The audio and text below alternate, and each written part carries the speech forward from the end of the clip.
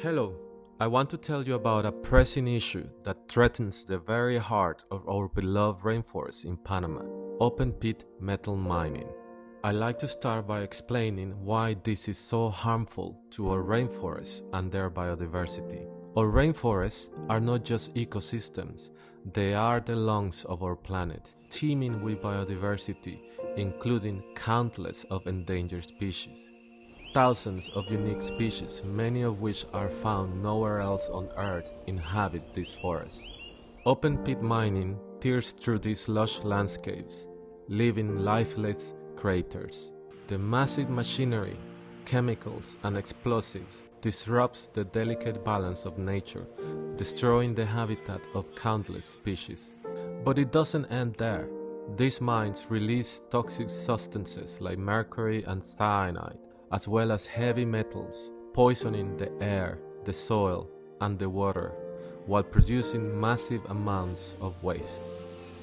According to the Canadian company First Quantum Minerals, there is no pollution, no use of river water, no use of pollutant agencies, and they do not discharge water into the surrounding rivers or sea. But we know this is not the case. This pollution knows no borders. It extends far beyond the mining site, affecting the entire ecosystem.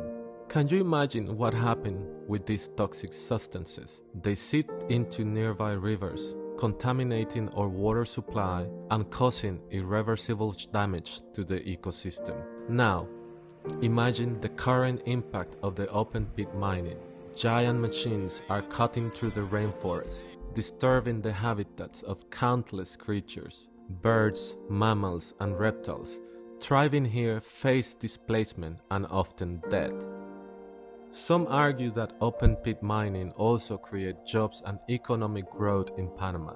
It is true that Panama needs jobs and economic stability. However, the short term economic benefits are outweighed by the long term consequences. Rainforests are home to unique species found nowhere else on Earth. Once they disappear, they are gone forever.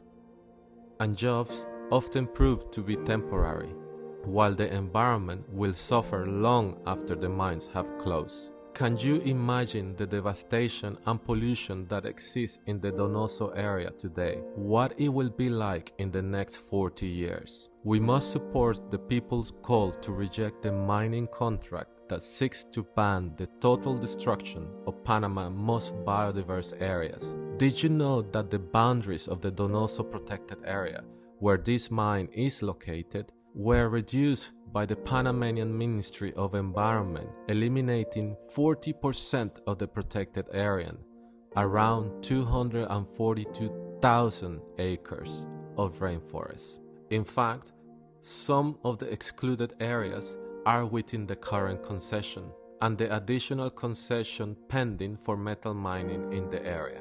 This process poses a risk not only to Donoso's exceptional biodiversity, which is part of the Mesoamerican Biological Corridor and an important corridor for amphibians, mammals like jaguars, and beautiful birds like the great green macaws, but also becomes a risk for key water sources for communities in Panama. We must remember that biodiversity is not only about having beautiful and unique creatures, it's about preserving the health and resilience of our planet. It's about preserving the delicate web of life that sustains us all. We must consider alternative ways to support our communities and preserve our natural treasures. Ecotourism and responsible forestry practices can provide jobs and stable long term economic growth while protecting our forests for future generations. These are the best ways to support our communities and ensure their economic well being. We must explore and implement these alternatives and find a better way to balance development and environmental protection. For some, it's a tough choice, but we cannot ignore the harm that this mining is causing to our forests and the creatures that call them home. It is not too late to choose a path that protects Panama's irreplaceable biodiversity. We have the power to make that decision. Let's unite to protect our rainforests and the valuable biodiversity they harbor.